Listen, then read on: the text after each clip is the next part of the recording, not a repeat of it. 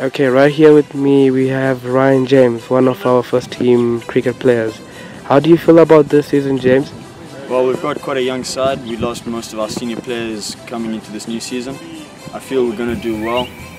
Some of the youngsters we've already had a chance of playing with us. I think we're going to gel well as the season goes on.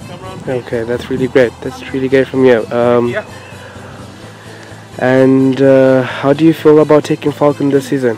Any fears or are you willing to take them on? Uh, Falcon, as everyone knows, is our greatest rival. They lost many of their players this year. They've still got one, I think his name is Keith Jowry, and Matthew Noach has been brought up. I think we can take them if we start gelling as a team as soon as possible. Okay, all the best for the season, Ryan James. Cheers.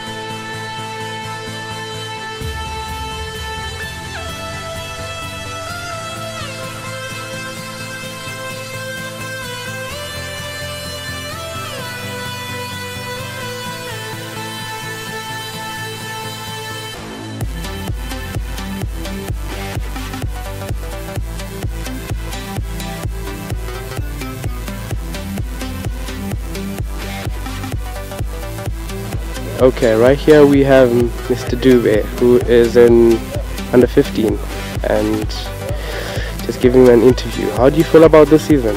Uh, this season is looking great. Uh, I think we're gonna win all the games. Okay, and are you doing well against Falcon? I hear you guys are playing Falcon Yeah, now. we are. We pulled them out for 140. Okay, Yeah, and that's the lowest we've pulled them out in a long time. Okay, interesting. So you're the captain. Yes. And how do you feel being given the opportunity of being captain?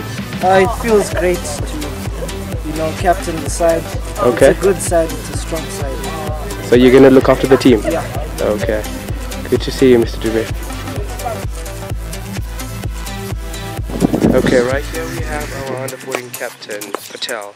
How do you feel of being in this team and how do you feel of giving the opportunity of being captain? Um, it's quite tough to be a captain. Um, Okay, It's really hard against the strong side we have right now. okay, Uh, our fielding we need a little more practice. but we're doing good. Okay, are you ready to go or no? Yeah, I'm ready to go. Okay, so you guys have a strong squad this year. Um, hop off. We have a strong side.